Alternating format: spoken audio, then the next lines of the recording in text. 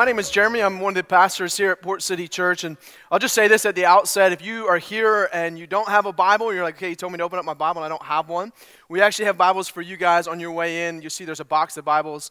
Uh, you can grab one of those every single week and you can actually keep it. It's yours, especially if you don't have one. We want that to be a gift for you guys. All right, let's start just with a little visual today, okay? I don't know if this has ever happened to you before. But back at our old house uh, in North Carolina, uh, occasionally, actually, I should say frequently, uh, one of the sinks in the bathroom would get clogged up. And, so, inevitably, you know, Julianne would come to me and she would say, you know, hey, the sink is starting to get clogged. Uh, again, one of the joys of having three daughters, there's, there's a lot of joys to that. One of the downsides is there's a lot of hair. And so she would say, you know, hey, the, the sink in the girls' bathroom uh, is it's, it's getting clogged up again. I'm like, okay, I'll take care of it. No worries. I'll deal with that. And, a week would go by and two weeks would go by. And eventually she would come and she would say, Hey, listen, like they're in there brushing their teeth. Like the, the water is literally not draining. Like it's now a pool in the sink of like gross, like toothpastey water, you know? And so inevitably I would have to go and, and get underneath the sink and, and kind of undo the pipes. And, anyways, you can imagine what that looked like, okay? I say that to give us a visual of what Jesus is showing us here in Luke 10 our life is not to look like. Jesus is showing us here that our life as followers of Jesus is not to be a container that holds the gospel. It's not to be a container where the gospel stagnates in our life, but rather our life as followers of Jesus is to resemble more of the pipes underneath where the gospel flows. So, what I want us to do is we read Luke 10 and we begin to unpack and study what Jesus is doing here in this passage. I want us to just evaluate does our life look more like a conduit for the gospel to flow through, or does it look more like a container that's just kind of just self sustained? The reality that we're going to see is that the gospel has come to us in order that it might flow through us. And so I just want us to do a quick evaluation. Is that what our life looks like as followers of Jesus? That's what we want to kind of analyze and unpack. Does our life as followers of Jesus look like that pipe that the gospel is flowing through? So, the big idea for our time this, today is, is, is just simply this the gospel saves and it sends. So, over the last several weeks, we've been talking about this idea that the gospel saves us. So, we know that. Like, the gospel saves us from our sin, but that's not the only thing that the gospel does. The gospel, as we're going to see here in Luke chapter 10, it sends us out. So, for the follower of Jesus, it's a both and. The gospel saves and the gospel sends us. There's another important thing, I think, for us right at the outset. Look back at verse 1 real quick. It says this in verse 1 After this, the Lord appointed 72 others, and he sent them on ahead of him, two by two, into every town and place where he himself was about to go. So it says here that Jesus is sending out this group of people called the others. Now, we flash back to Luke chapter 9. In Luke chapter 9, Jesus had actually already sent out his 12 apostles. Now, if that's all we had, if the Bible only showed us Jesus sending out his 12 apostles, here's the danger with that. The danger with that is we would be tempted to think that this idea of living on mission, that being engaged for the gospel, like that's just for the professional Christian. Like if all we saw Jesus doing was sending out the apostles, we think, well, yeah, of course he sends out the apostles. Like they're the professionals.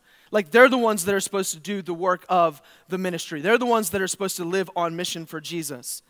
But now in Luke chapter 10, we have this group called the others. You're like, who is it? Well, these are just normal followers of Jesus. These are just disciples that have chosen to follow Jesus, and yet Jesus is here and he's sending them out. Here's what that means for us. As we look at this passage, one of the things that we realize is that when we talk about engaging the mission, one of the reasons that we say every single week as we close out our service, we say, Hey, Port City Church, you are sent out. The reason we say that is because the reality is being on mission with Jesus is part of the everyday normal Christian life.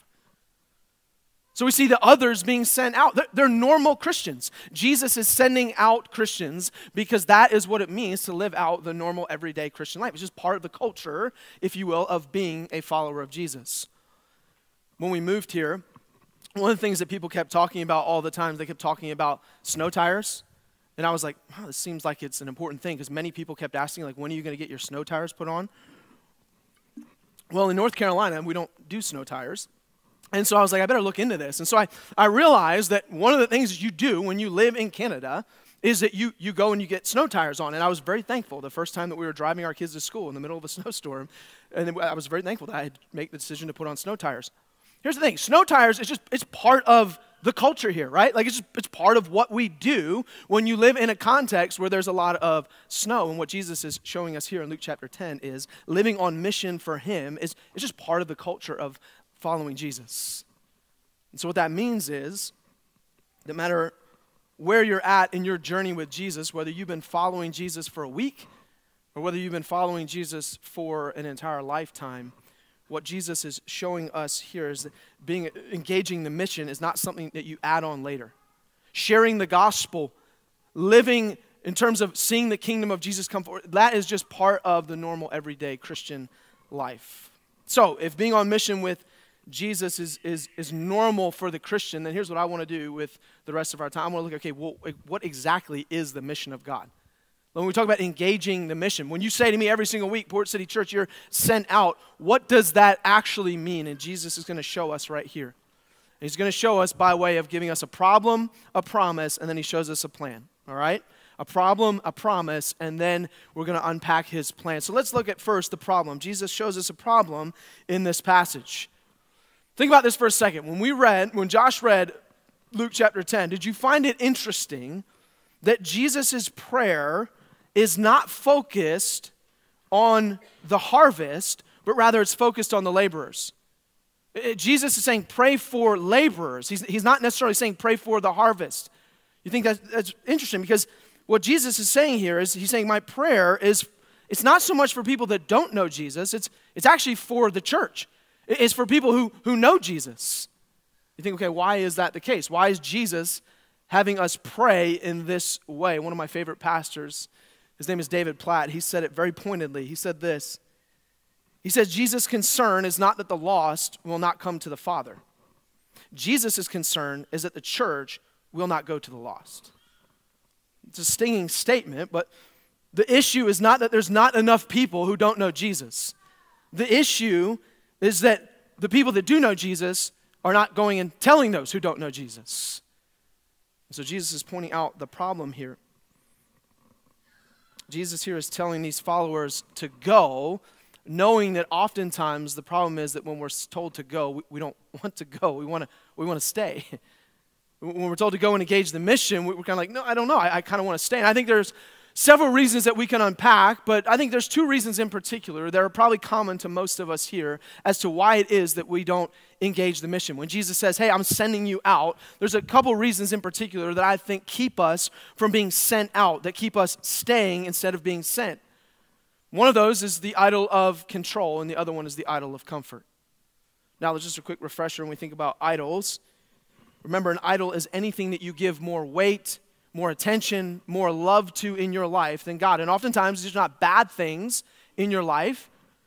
More often than not, these are good things, but these are good things that we have turned into God things. And so you think about control.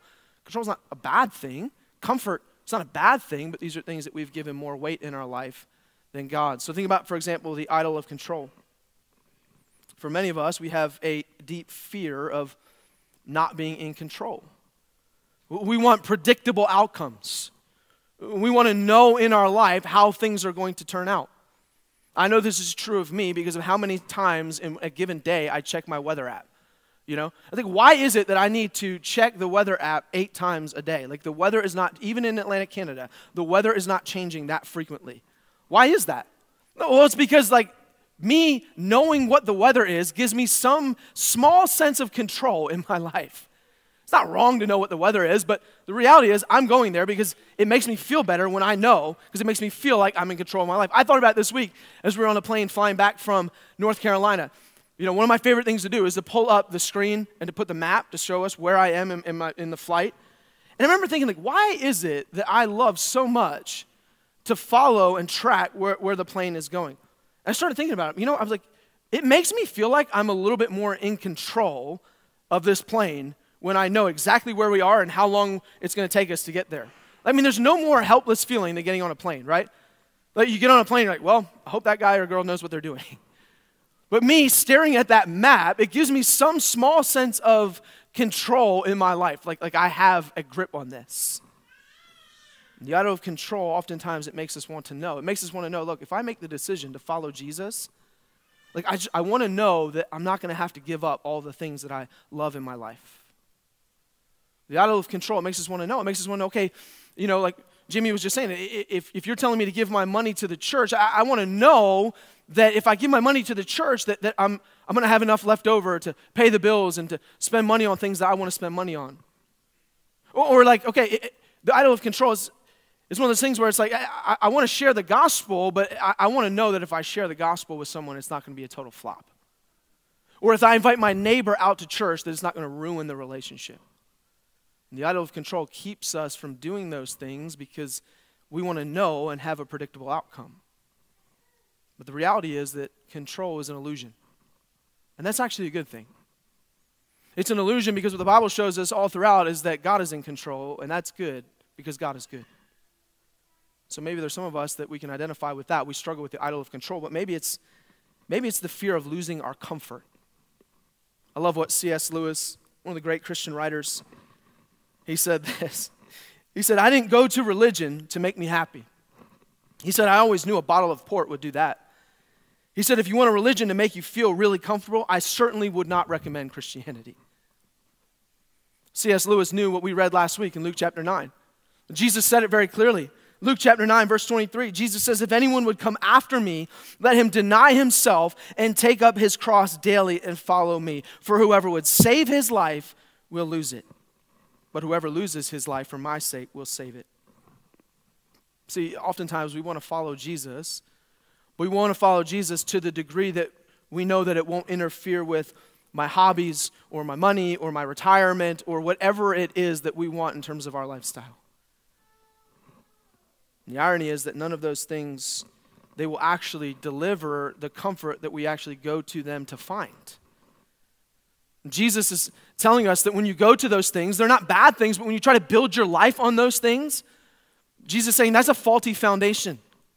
I don't know if you guys saw it in the news a few weeks ago down in Utah, there was uh, a week where there was a ton of snow melt. And as a result of this snow melting, there were certain houses that were built on a foundation that was a bit unstable. And so there's videos of these houses, nice, beautiful, large homes.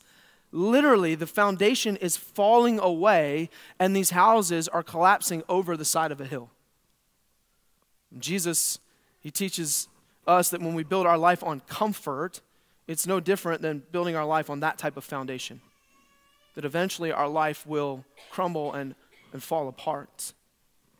So let's just be honest with ourselves today and just ask us do we struggle with one or more of these idols? Is one of these idols at play in our life? I think about the idol of control in my life. I think about how for so long I struggled with the call to be a part of planting a church here in Halifax, Nova Scotia. The reason I struggled with that was because I liked my life. It was safe and secure and comfortable and it was predictable. And I didn't want to mess that up.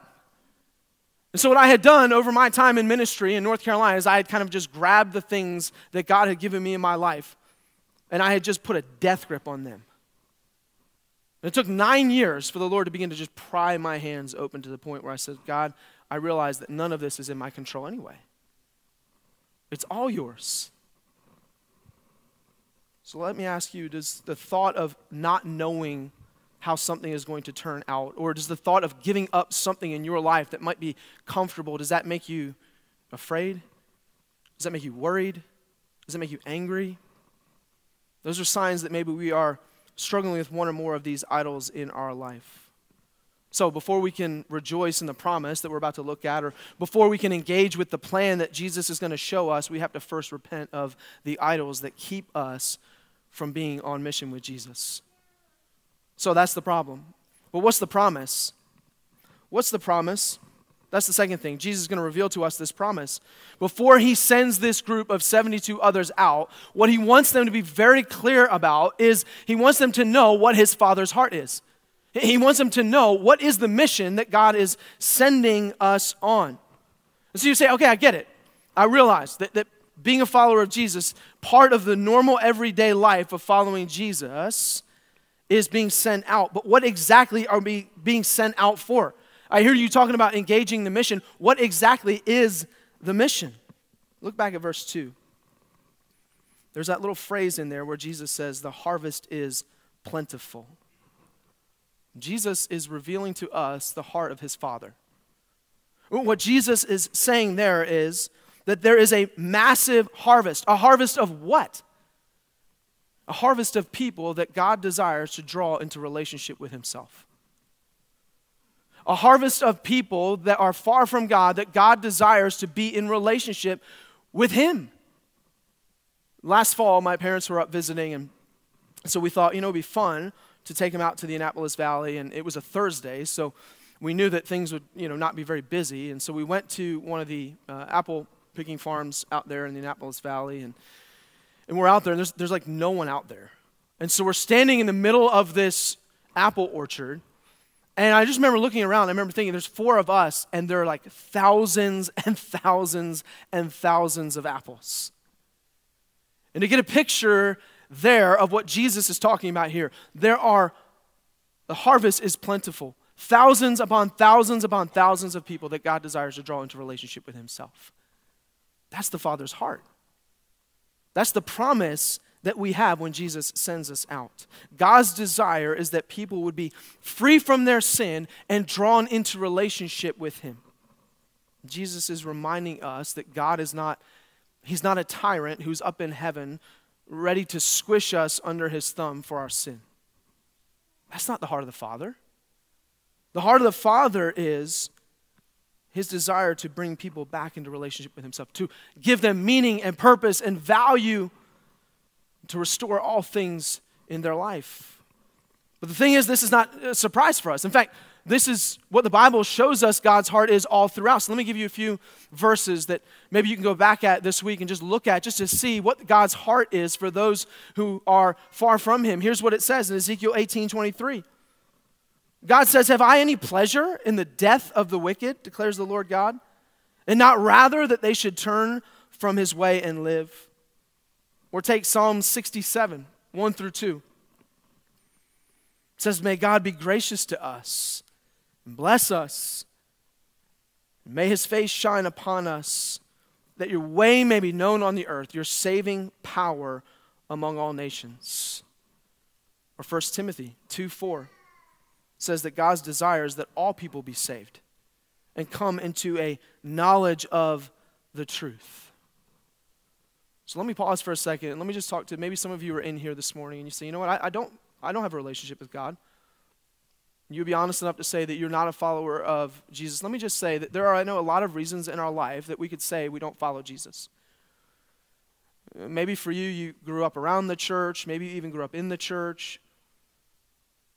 And maybe one of the reasons is, you know, you said, I just had a really bad church experience. Maybe it's that you've known Christians in your life and you're like, I just don't want to be like them. there are reasons in our life that we can say, you know what, I, I just don't want to follow Jesus. One of the reasons that you can't say is that God doesn't want a relationship with you. Because what Jesus is showing us here in Luke 10 is that no, God definitively wants a relationship with you. The harvest is plentiful. God desires to be in relationship with you, to give you hope, to give you meaning, to give you purpose. I believe that maybe there are some today that need to see and believe that the promise that Jesus gives those that he's sending out is the promise that he gives you. He desires to save you. But maybe you are a follower of Jesus. Let me ask you this. When you think about your friend or your coworker or your neighbor, is this promise that Jesus gives that he desires to draw many into relationship with him, do you still believe that about that person in your life? Or have you kind of maybe come to a point where you're a bit cynical, you've maybe given up hope? Isaiah 59 1 reminds us Behold, the Lord's hand is not shortened that it cannot save, nor his ear too dull that it cannot hear. The harvest is plentiful. That's a promise. The Father's heart is to draw those in the harvest back to himself. So, would our prayer today be God, make my heart that of your heart? Now, one of the great things is that Jesus gives us this promise, but The promise involves us, like He uses us. God just doesn't sideswipe and say, okay, I'm just going to do this myself. God says, no, I'm going to use you. That's why I said at the outset the desire that God has for our life is that we would be a conduit for the gospel, not just a container of the gospel. So, in God's sovereignty, He chooses to use us to live on mission. And we see that the harvest is plentiful, which means that there's a lot of work to be done, which is why God gives us a plan. Jesus gives his disciples a plan. Before he sends them out, he says, Here's the problem. Let me remind you of this promise, but you're also going to need a game plan. All right, so what is the game plan? Well, the game plan first, it starts with prayer. Look back at verse 2. Jesus says right at the outset, pray earnestly. Pray earnestly. So, the first thing that we're reminded of here is that prayer is never an afterthought to the mission of God. Prayer is primary to the mission of God. I think sometimes in our life that we kind of think of prayer as like th- that's like secondary. Like we'll get to that after we do the real work. And what Jesus is saying here is no, prayer is the work. Like before you go out, pray. So the plan that Jesus gives his disciples it starts with prayer.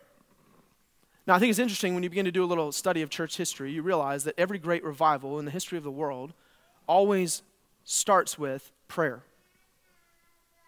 several months ago, I was spending some time with my uncle. He's actually a pastor over on PEI, and, and he was telling me about one of the revivals that I wasn't very familiar with. It was the revival that took place, actually, one of the last great revivals that took place from 1949 to 1952, and it took place in the Hebrides Islands over in Scotland. It was super interesting because he was saying, you know, this revival actually, you can trace some of what we see uh, in the Maritimes, uh, you can actually trace it back to the revival that took place in the late 40s and early 50s. Some people that were greatly influenced uh, there uh, actually kind of imported the revival over here into the Maritimes. And so I began to do a little research and I began to look up, well, what, what exactly took place? And I found this interview that someone had done with one of uh, the women that was around during that time. She was well off into her 80s at this point. I thought this statement that she made was, was incredibly striking. She said this about the revival in the Hebrides Islands. She says, The revival was marked by an attitude of brokenness and desperation. It was a spirit of necessity and audacity. Listen to this a manner of prayer that could be daring and agonizing. We talked about this a little last week. You think about the nature of prayer for a second. Like, like just pause for a second. Let's just think okay, what is prayer? Like, like, why is it, or what are we doing when we pray? Really, I think prayer is an admission of the only thing that we bring to the table. We talked about this last week. The only thing that we bring to the table to God is need. We don't bring Him our good works, we, we don't bring Him our morality. We don't bring, no, what we bring to God is need. And so when we pray, essentially that's what we're doing. We're coming before the Lord and we're saying, God, I recognize that I am who I am and you are who you are, and I'm bringing you my need. I need you for what? Everything. Prayer is that acknowledgement. It's our acknowledgement of our dependence on God. It's saying, God, we can't, but you can. Prayer is putting into practice this theological reality. We need God to change our hearts because, listen, on our own, we want comfort and control. Like on our own, we don't want to engage the mission. So we need to pray and say, God, I need you to give me that desire in my life. So, what's one of the first steps to living on mission with Jesus? Jesus says, pray. You want to learn how to live on mission for me? What do you do? You, you pray. Pray that God would use you. Think about this. What if you prayed that prayer for the next 30 days? What if we began to say, okay, God, I want to live on mission for you? And we started with just prayer. And we said, over the next 30 days, I'm just going to pray that simple prayer God, would you use me in fill in the blank? Maybe it's your workplace, maybe it's your home. What could God do if we just start there? But then God, Jesus goes on in this plan. He says, okay, you need to pray. But then he also shows them that their, pra- their plan involves word and deed. Look back at verse 9. This plan involves word and deed. Jesus says, heal the sick in it. He's talking about going to these cities. He says, when you get to these cities, heal the sick that are there and say to them, the kingdom of God has come near to you. So, why is Jesus saying heal the sick? What Jesus is sh- saying there is hey, you're going to go and you're going to talk about the kingdom of God, but you're also going to bring signs of the kingdom of God. So he says, You're going to go and you're going to heal the sick. Why do you heal the sick? Because Jesus is saying, In my kingdom, especially in my kingdom, fully realize one day there will be a kingdom where there is no sickness. So you think about that. Why is it that we, as a church, want to be a church that helps people in need? Why are we as church wants to, why do we want to help people who are hungry? Well, we want to help people who are hungry because we're showing them signs of a kingdom where there will be a day where there is no more hungry. Why is it that we, as a church, want to be a part of helping people who are hurting? Well, we want to not only tell them about the kingdom of Jesus, we want to show them that there is a kingdom where one day there will be no more pain or crying or tears. So Jesus is telling his disciples here as you go out, not only tell them about the kingdom, but, but show them what it's like. Don't just tell them, show them. So I grew up in Philadelphia, and someone once told me, they said, Man, it's not a sermon. Uh, it's not one of my sermons if I don't tell you I'm from Philadelphia. So probably every other week you're going to know that I'm from Philadelphia. But one of the things I love to do, okay, is I love to tell people about Philadelphia. I mean, I could sit down with you for hours which would probably be the most boring thing in the world, and I could just tell you all about Philadelphia. But here's the thing I would rather show you Philadelphia. Like, I would rather say, hey, let's jump on a plane and let's fly to Philly and let me not only just tell you what Philadelphia is like, but let me walk you around and show you where Benjamin Franklin is buried. And let me show you where, you know, I spent my childhood, you know, watching Philadelphia sports. And, and I, I would want to take you all around the city, not just to tell you what it's like, but to show you what it's like. Jesus is telling his disciples as he sends them out, he's saying, Look, don't just tell them what my kingdom is like, but show them what my kingdom is like. So, if you're a follower of Jesus, are you living in a way that is showing people around you what Jesus' kingdom is like? Yes, let's tell people, but let's show people. So, you ask yourself this Does the way that we treat others when we are mistreated show people the kingdom of God? Or think of it this way Does the way that we handle stress and difficulty in life, does that show people the kingdom of God? Or the way that we spend our money or spend our time, is that showing people the kingdom of God? The way we work and the way that we serve others in our workplace, is that showing people the kingdom of God? Jesus' kingdom is, is better than any kingdom that we can build here on earth. And so Jesus says, show them, don't just tell them. So the plan involves prayer. It starts with prayer, it involves word and deed, but then Jesus also says, hey, the plan, this is urgent. This is an urgent thing. Look back at verse 4. It's an interesting instruction that Jesus gives his disciples here. He says, Carry no money bag, no knapsack, n- no sandals, and greet no one on the road.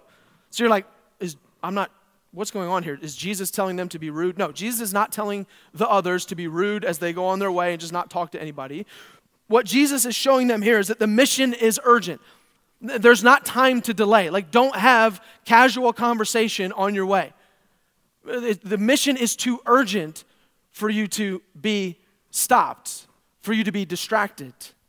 Jesus is saying essentially that he's saying, look, your, your good intentions aren't going to carry the mission of God forward. Your obedience is. I throw my dad under the bus here. I love my dad. I told you last week, you know, I one time loved him so much that I tried to tell my friends that he went to prison. Um, so my dad, he, he was a guy of his word, right? Very much a man of his word. And uh, so when he said he was going to do something, uh, he always did it, except for one thing. He promised us when we were kids that he was going to build us a treehouse, you know? And I remember around age 17 going back to my dad being like, Dad, I think you don't need to worry about the treehouse anymore. I'm a little bit old for that now, you know? Now, he did fully make up for it. And uh, he, built my grand, uh, he built his grandkids an awesome treehouse uh, at our last house. But, you know, well, I think about that example. I think, you know, my dad, it wasn't that he didn't intend to build us a treehouse growing up. Like, he very much had intentions, good intentions, to build us a treehouse. But the reality is, his good intentions didn't build the treehouse. I think for us as followers of Jesus, sometimes we get kind of caught up in having good intentions, but the reality is, our good intentions don't move the mission of God forward, our obedience does. So we have to ask ourselves are there things in our life that maybe God has called us to do that we have just put in that good intention category? Realizing this, that God is, He's not after our good intentions, He's after our obedience. He's not after our good intentions, He's after our obedience. This is why one of the values for us as a church is that we would engage the mission. It's that important for us to not live good intentioned Christian lives, but in response to what Jesus has done for us, to live obedient Christian lives. So maybe there's something in your life that you've been putting off, maybe for a month, a year, 10 years. Maybe it's serving someone in need. Maybe it's a gospel conversation with a neighbor. Maybe it's a missions trip. Maybe it's talking to a pastor about a struggle that you have. God is not after your good intentions, He wants you to be obedient in those things. So Jesus says the plan is, is urgent, we have to act on it. Then He also says the plan is risky. The last thing He shows us here is that the plan is risky. Look back at verse 3. Jesus says, Go your way, behold, I am sending you out as lambs in the midst of wolves. And Jesus here, he's, he's setting expectations. I've told you guys before that one of the things that we do on long car rides is that we have an expectations conversation before we start the car ride. Because I've realized that if I don't clearly outline what I'm expecting on this nine hour drive, that I will be thoroughly angry So my wife will say as we get in the car and we start the car and we're like, okay, here we go. We're going to drive to whoever. We're going to take this, you know, four, or five, ten hour car ride. What are you expecting the next 10 hours to look like? And I've learned that I can't say I'm expecting for us to have beautiful, long conversation where we plan out our future. I'm supposed to say that I expect to have 20 minute, at best, interval conversations where we maybe answer about one question. So we're setting expectations, and that's what Jesus is doing here. Before he sends out his disciples, before he sends out this group of others, he's saying, Hey, I want to make sure you understand what to expect. And so, Jesus, we realize he's, he's never vague, he's, he's never ambiguous, he's never unclear about what it means to follow him. We just said that in Luke chapter 9. Jesus is super clear. This is what it means. This is the cost of following me. And just so we're clear here, a quick animal kingdom lesson wolves eat sheep. So Jesus is saying, I'm sending you out as lambs, as sheep among wolves. To which, if you're sitting there listening, you're, you know, you're one of these others, you're thinking, like, mm, that sounds dangerous. And Jesus is like, yes, it is. It is dangerous. Wolves are dangerous. But here's the thing I think sometimes that we get caught up with. I think sometimes we think, as followers of Jesus, we think that risk, like, like okay, it's going to be a risk for me to live on mission with Jesus. I think sometimes we look at that as a one way street. We kind of think of risk as a one way street. Here's what I mean by that. I think we think, okay, if I share the gospel with my coworker, I'm going to maybe risk losing that friendship. Or I'm going to risk it being awkward between us. Or we think about it this way you know, think if I choose to be part of that church, I'm going to risk giving up the time that, that maybe I have to do other things. Or, or you think maybe if I choose to confess that sin or admit this struggle that I'm going to that I have, I'm going to risk my reputation. I don't know if I want to risk that. And so we think about risk as a one-way street. The reality is that risk is is never a one-way street. Because here's the truth of what the Bible helps us to see. When we choose to live stagnant instead of living on mission with Jesus, we risk wasting our life. Risk is never a one way street. Yes, there are things that we risk when we choose to live on mission with Jesus, but what Jesus is showing us here is if you choose to not, the other risk is that you risk wasting your life. So it's not just your relationships or your time or your reputation that's at risk. What's at risk is you not walking in the good works that God has prepared beforehand, like Paul says in Ephesians 2:10. Those are the things that we risk. The reality is that you will have to stand before God and you will have to give an account for why you chose one risk over the other. So Jesus says the plan, it starts with prayer. He says it involves word and deed. It's urgent, it's risky. When Jesus sends out the others, when he sends out the 72, here's what Jesus is not promising. Just to be super clear, Jesus is not promising that when you live on mission with him, it, it's going to be easy. In fact, Jesus says, no, it's actually going to be pretty hard. Jesus is not promising that if you live on mission with him, it's going to be safe. Remember, wolves. No, he says it's actually going to be pretty unsafe. He's not promising that if you live on mission with Him, that it won't come at a cost. He says, no, it'll, it'll cost you everything.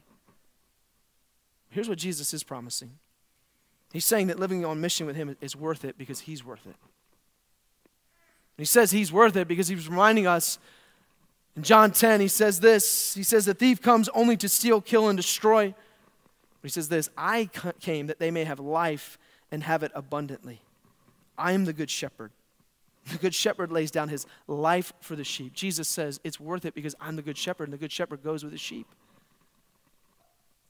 That, yes, these things I want to be super clear with you about that it is hard and it is at times unsafe and it, and it will cost you, but it's worth it because I'm the good shepherd. So living on mission with Jesus means going out among wolves, but we go with the assurance and the presence of the good shepherd. And what we're reminded of is that the Good Shepherd, he didn't just risk his life for us, the Good Shepherd gave his life for us. That's the gospel. That is the truth that compels us to engage the mission. But here's the other thing. We realize that the Good Shepherd, he's not sending us to a place that he hasn't already gone. The other thing we realize is that your worth, your value, your identity, your acceptance in God, it has nothing to do with how missional you are. Like it has nothing to do with, okay, if you do these things, then you will be loved by God. That's not what Jesus is saying here. He's not saying, okay, if you really, he's not saying, if you go out and you engage the mission, then I will accept you. He's telling his disciples, no, you've been accepted. Therefore, you go. So our worth is not dependent on how many times we share the gospel.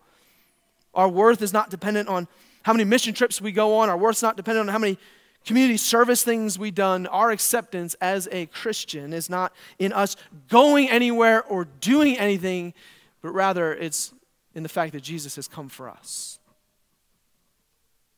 And when we get that truth deep down into our hearts, the result is that we want to go, that we will go, that we will engage the mission. Here's another motivation, though, I think, for us as followers of Jesus, and we'll close with this. Look at verse 17. Josh didn't read this part. So let, us look at this together. Luke 10, verse 17 through 20. So Jesus sends out these others. Now they're coming back. They've done the ministry, they're coming back. It says, The 72 return with joy, saying, Lord, even the demons are subject to us in your name. Jesus said, I saw Satan fall like lightning from heaven. Behold, I have given you authority to tread on serpents and scorpions and over all the power of the enemy, and nothing shall hurt you. And then this, look at this in verse 20. Nevertheless, do not rejoice in this, that the spirits are subject to you, but rejoice that your names are written in heaven. What Jesus is helping his disciples to see here when he sends out the others, what he's reminding them about so clearly is that he has not sent them out on a futile mission. This is, this is not a vain mission. Jesus is saying, hey, let me remind you what I have seen and what I know to be true. In the end, I win. God wins. This week, my parents were here watching my kids as we were out of town, and my mom was up back in January and she said, Hey, do you have that pair of sneakers that I left here? I said, Oh, yeah, I think they're in, in my closet. And so I go in my closet and we begin to look, and I can't find these sneakers like anywhere. And so for the next, like, I don't know, 30 minutes, an hour, we're like searching the house up and down. We're accusing my 13 year old of taking her grandmother's shoes, you know. We're like looking everywhere, like all over the house. I can't find the shoes anywhere. It was driving me crazy. That's because I had taken those shoes the last time I went down to Philadelphia. They weren't in the house, they were at my mom's house in Philadelphia, which means I could have searched that house for days and days and days and days, and I never would have found the shoes because they weren't there. What Jesus is saying here to his disciples is when I send you out, this is not a futile mission. I'm not sending you out to something where you're going to go out and you're going to do ministry and you're going to do all these great things for no reason at all. No, no, you, are on mission with me because the truth is, we see and we look forward, that Jesus wins. So when we say as a church every single way, every single week, Port City Church, you are sent out, what we're sending you out on is not a futile mission. We are sending you out with the promise that Jesus gives here that he, he wins. Let me pray for us. Heavenly Father, we thank you so much that you have been so gracious. That, Father, before you send us, you come and you came for us in Christ. Father, you loved us enough when we were far from you. You loved us enough to send your only Son, Jesus, God, to pay the penalty for our sin. And God, all, all of our worth and all of our acceptance is wrapped up in that truth. And so, God, we know as a church we can be about a lot of things. God, we can do a lot of good things. But if we do those good things, God, apart from the fact that you have done the greatest good for us, then God, it is it's for nothing. And so, Father, as a ch- we want to be a church that engages the mission, but God, we want to do that because we realize first and foremost that you have come for us. Lord, search us out. Those areas of our hearts, Father, that God, maybe we were just struggling with the idol of control. God, maybe we just Father, we like those things that are comfortable and they're keeping us. God, maybe they're keeping us from admitting sin. Maybe they're keeping us, God, from sharing the gospel with someone. Father, would you help us to repent of that? God, we thank you that you're a loving God. Your promise, Father, is that you desire to bring many, many into relationship with yourself. Thank you. I pray in Jesus' name.